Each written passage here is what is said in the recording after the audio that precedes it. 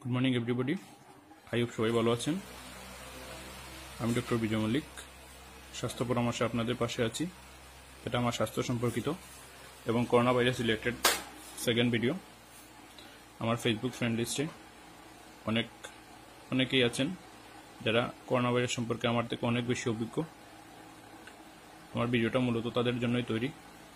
যারা এখন পর্যন্ত করোনা ভাইরাস সম্পর্কে ততটা সচেতন নন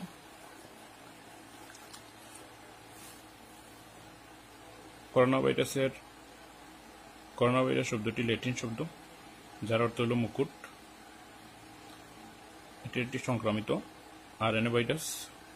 বিভিন্ন প্রজাতির করোনা ভাইরাস আছে। এর মধ্যে ছয় প্রজাতির করোনা ভাইরাস মানবদের রোগ সৃষ্টি করে থাকে। করোনা ভাইরাস সৃষ্ট রোগের নাম করোনা ভাইরাল ডিজিজ, যার সংক্ষিপ্ত রূপ কোভিড নাইন্টিন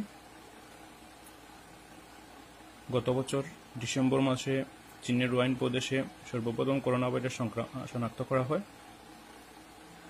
পরবর্তীতে এটা বিশ্বের বিভিন্ন দেশে ছড়িয়ে পড়ে। অনেকের মতে এই ভাইরাসটি বাদুড়ের শরীর থেকে মানব শরীরে প্রবেশ করেছে।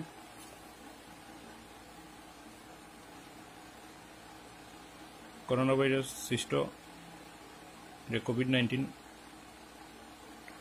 তার লক্ষণগুলো হলো জ্বর, শুষ্ক কাশি, গলা ব্যথা, শ্বাসকষ্ট, ডায়রিয়া। এই ভাইরাসটি মানব শরীরে শ্বাস প্রশ্বাসের মাধ্যমে প্রবেশ করে এবং ফুসফুসকে আক্রান্ত করে। শ্বাস প্রশ্বাসের সমস্যাই প্রধান সমস্যা। এই ভাইরাসটি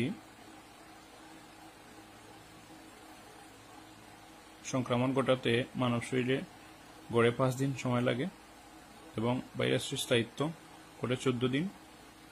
অনেকের মতো সেটি চব্বিশ দিন পর্যন্ত স্থায়ী থাকে।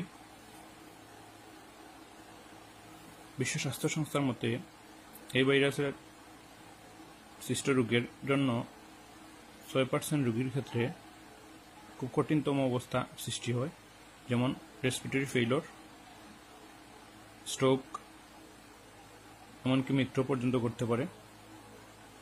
চোদ্দ পার্সেন্ট রোগীর ক্ষেত্রে শ্বাস প্রশ্বাসের সমস্যাই প্রধান সমস্যা। এবং আশি পার্সেন্ট রোগীর ক্ষেত্রে সাধারণ লক্ষণ যেমন জ্বর গলা ব্যথা শুষ্ক কাশি, এমনকি নিউমোনিয়ার লক্ষণও দেখা দিতে পারে।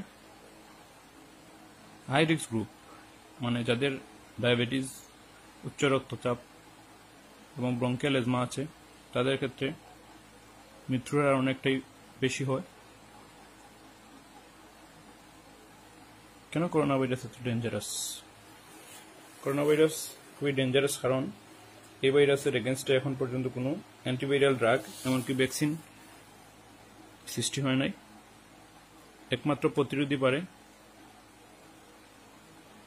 একমাত্র প্রতিরোধী এই ভাইরাসের একমাত্র উপায়। একমাত্র সচেতনতাই পারে এই ভাইরাসকে প্রতিরোধ করতে। চলুন আমরা সবাই সচেতন হই। গড়ে থাকি, সুস্থ থাকি। খুব বেশি প্রয়োজন না হলে ঘরের বাইরে বের হব না। ঘরের বাইরে বের হলে অবশ্যই মাস্ক এবং গ্লাভস ব্যবহার করব এবং সাথে হ্যান্ড স্যানিটাইজার ব্যবহার করব। নিয়মিত সাবান পানি দিয়ে হাত পরিষ্কার করব। হাঁচি এবং কাশি দিলে নাক, মুখ, রুমাল অথবা টিস্যু দিয়ে ঢেকে রাখব। হাত দিয়ে নাক চোখ এবং মুখে স্পর্শ করব না। পুষ্টিকর খাবার, যেমন রোগ প্রতিরোধ ক্ষমতা সম্পন্ন খাবার, শাকসবজি এবং vitamin B complex A, vitamin E related খাবার খাব।